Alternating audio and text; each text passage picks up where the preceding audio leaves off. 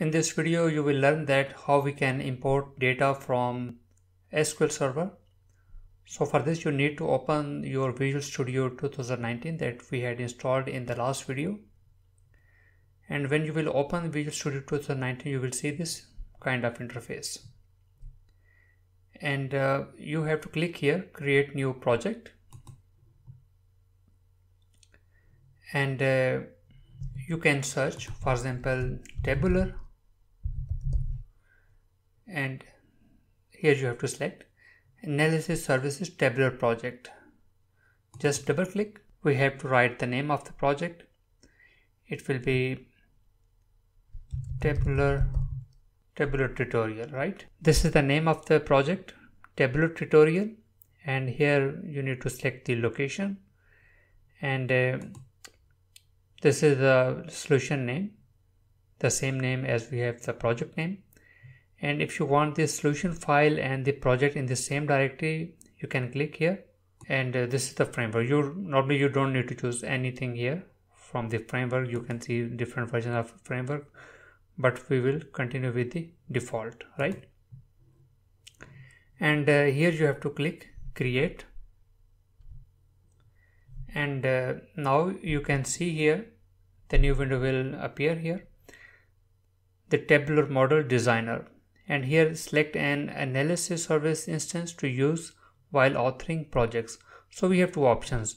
One is the integrated workspace and the other is workspace server. But for this course, we will select the integrated workspace. And uh, then you have to just click OK. And here you will see this interface. This is the Visual Studio interface for the tabular model right? And um, under tabular model explorer you can see here we have uh, this is the name of the project tabular tutorial. The data sources kpis measure perspective. So we will cover one by one. So before starting the tabular model development the first step is we need to connect to the data source. That from which data source we need data right?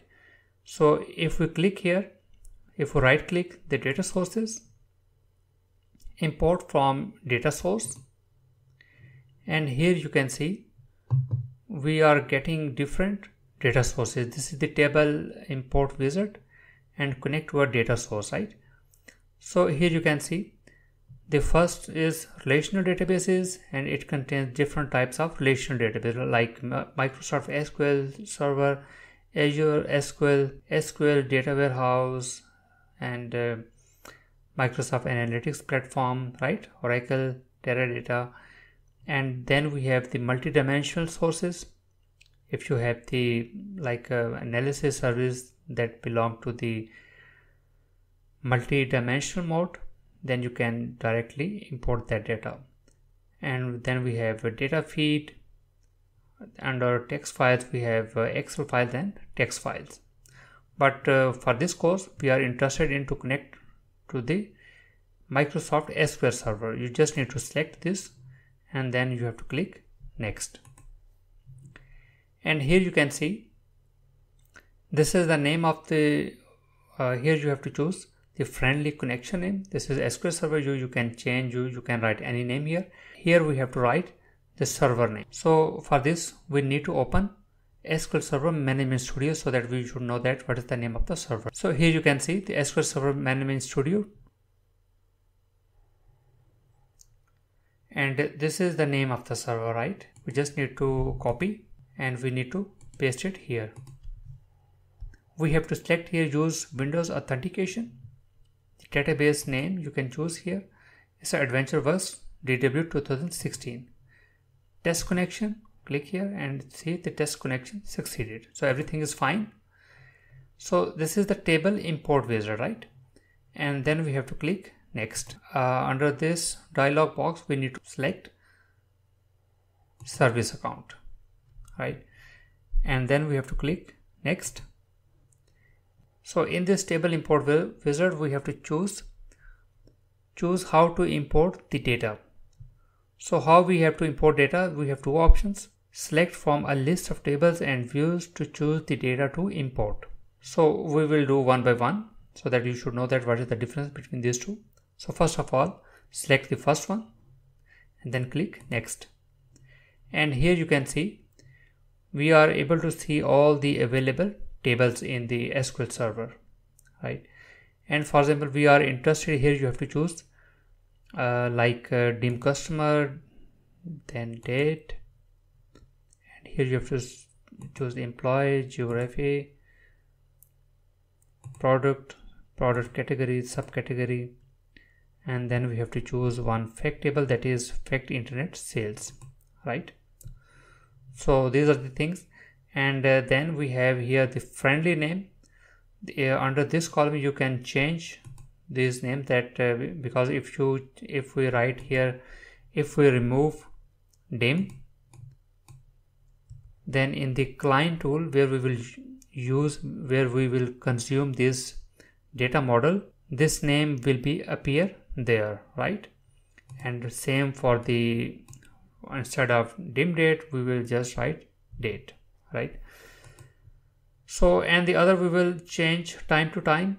So we will first deploy this model to the analysis server and then we will connect to the power bi desktop. And then we will perform some changes here and then check these changes in the power bi desktop. So you can better understand what we are doing here and what is the effect right? And uh, with this option select related table. If you click this table then all the connected table will automatically select it. Because the tabular model will detect all the tables automatically and then connect with the relevant primary and foreign keys. And with this option preview and filter if you click uh, preview and filter and for, for, for this you you first need to select any any table. For example if you select the like the dim product and then you have to click preview and filter. It's just like the power query. If you click here and then under text filter you you can apply different conditions here right? So we will cover this topic later. First of all because the focus of uh, today's video is how to import data and uh, then we have to click. Uh, once you are you have selected all your table you can click finish. And here you can see the data is being fetched from the SQL server and load into the model. Just click close. And here you can see these are the different tables here like customer date dim employee and uh, dim product right? All these things. If you want to add uh, more tables in the model you have to click here under tabular model explorer. Here you can see data sources right? You just need to click here. And uh, then we have to choose existing connection. This is the existing connection that we have we had already. Just open it. Then you can see the same option click next. And here for example if we want to add uh, like a dim promotion this table then select the finish and click close. And here you can see the dim promotion right? And in the same way for example if we try to add one more table here on the data source click and use the existing connections. And here you have to click open. If you click edit here you can see this is the connection right? The name of the the data source let me zoom it. So here you can see this is the the name of the the data source. And uh, then here this is the name of the database. And that's all. And here you can rename the the friendly name for the connection. So you can just remove this part and then click save. You need to select this connection string here and then click open. And this time instead of uh, selecting from the list of the tables we will select the write a query right? And then we we will click next. And here we have to write the SQL statement. So in the next video we will write one SQL query to import data from the SQL server to the data model. So if you like this video please subscribe our channel and if you have any question please write in the comment section. Thank you